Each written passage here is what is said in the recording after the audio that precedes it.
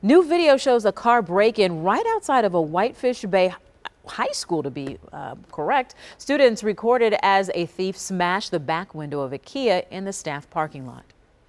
Police were called just before 2 o'clock this afternoon.